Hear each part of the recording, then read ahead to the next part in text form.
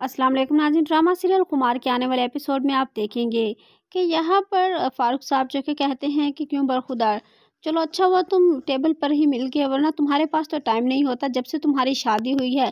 तुम्हें तो सिर्फ़ और सिर्फ़ अपने रूम से मतलब है, वरना तुम्हारे लिए कोई और रिश्ता अहमियत रखता ही नहीं। जिस पर फायज कहता है कि डैड कहिए अगर आपने कोई बात करनी है। जिस पर फारूक कहता है कि मैंने तुम्हें यह कहना था कि लाइबा के एग्ज़ाम हो रहे हैं और इसने इस्लामाबाद जाना और मैं चाहता हूँ कि तुम इसे खुद लेकर जाओ। जिस पर फायज कहता है कि डैड मैं ऐसे कैसे जा सकता हूँ? आपको पता है ना कि हरीम यहाँ पर अकेली है। जिस पर फारूक साहब कहता है कि क्यों? तुम्हें उससे क्या मतलब है? उसे कुछ दिन के लिए उसके घर भेज दो और वैसे भी कौन सा यहाँ पर उसका किसी के साथ कोई ताल्लुक है? जिस पर फायज कहता है कि किसी से ताल्लुक ना हो।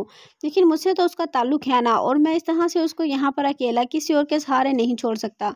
मैं जानता हूँ कि यहाँ पर सबका बिहेव कैसा है, जिस पर लाइबा जो कि कहती है कि प्लीज़, बाबा, मेरी वजह से आप इन्हें कुछ मत कहें। जिस पर फायज कहता है कि, देखो लाइबा तुम जानती हो कि तुम पहले भी तो अकेली आती जाती हो ना तो अब आखिर क्या मसला है? लाइबा कहती है कि, मुझे कोई मसला नहीं है।